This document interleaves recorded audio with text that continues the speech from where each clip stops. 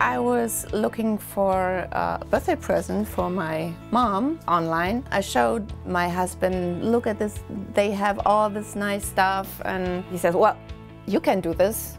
And I said, yeah, sure. no, I cannot. but the idea got stuck and um, well, we experimented a little and now our little experiment is slowly developing into a little business. I love teardrop anything. if it's a, a freshwater pearl or if it's polished, I just love those. And I really like the uh, satellite chain. It's one like this, where you have the little dots. I put it together and it's one of my best sellers and I love it.